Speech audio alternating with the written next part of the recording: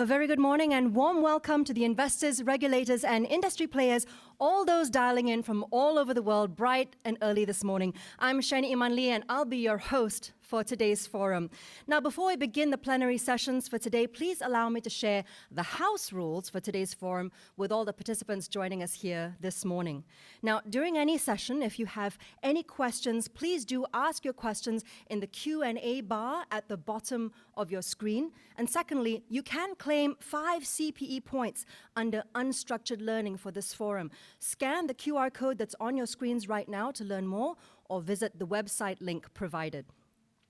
Now, without wasting any time, let's dive right into the reason we're all gathered here this morning, virtually for the first time ever, for the second annual Malaysian REIT Forum 2020.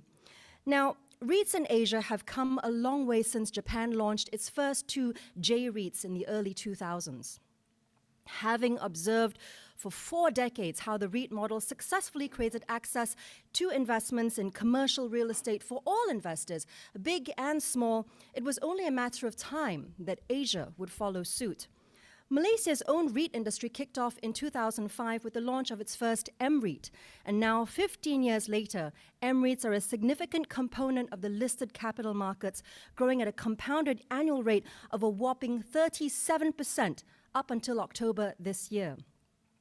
And then everything as we knew it was rudely interrupted by, of all things, a global pandemic. Nothing has been spared, not the global economy, not Malaysia, and no, not even M-REITs. However, as bleak as this year has been, it has not been without opportunity. By pivoting to new business models and containing costs, M-REITs have managed to stay on track and prove their resilience even in these volatile times.